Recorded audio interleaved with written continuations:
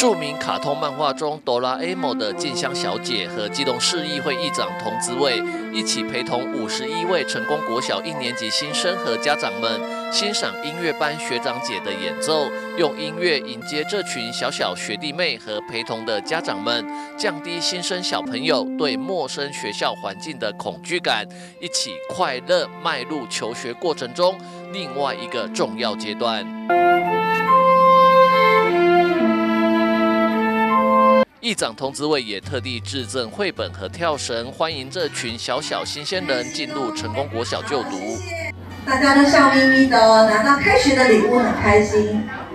八月三十号开学日，仁爱区成功国小校长陈怡君带领老师们特地着装打扮成著名的漫画卡通《哆啦 A 梦》中的人物。校长陈怡君更扮演品学兼优的静香，一起迎接小一新生入学，让小朋友在快乐开心的氛围中进入国小，不会害怕，也让家长放心。那哆啦 A 梦呢，是一个呃年代很有久远的一个卡通哈。那它呈现的呢，是一种活泼、聪明、多元、机智的这样子的形象。那我们也希望呢，来成功国小读书的小朋友呢，他在这么优质的环境之下呢，都能够学习到这样多元、活泼，然后呢非常丰富的一个学习。而对于附设幼儿园的小小朋友们，校方也特地安排乖乖墙，让每一位小小朋友都可以自己从乖乖墙上拿下一包乖乖，快乐上学，也让爸爸妈妈们感受到学校的贴心。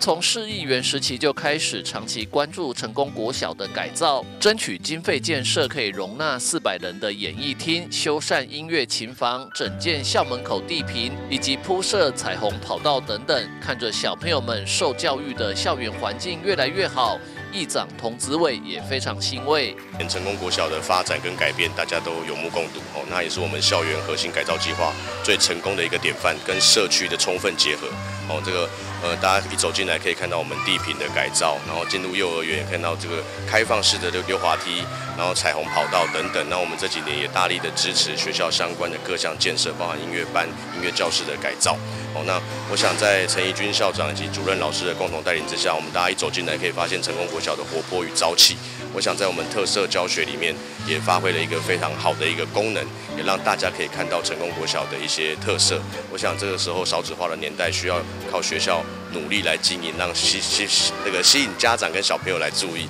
所以我想成功国小是一个非常成功的典范，我们也会继续全力来支持学校的相关建设。至于和静香小姐一起听音乐的感觉如何呢？议长童子伟笑得腼腆又开心。我想去年好像校长是白雪公主嘛，去年，然后今年是这个小叮当里面的静香哈。学校就是这样，你看我们刚一走进来，大家就会充满朝气。我想校长就是一个学校的发展灵魂，然后那学校活泼，然后可爱，也是校长的一种代表。我想希望这个小朋友在这边就读都可以平安健康，然后很开心的学习。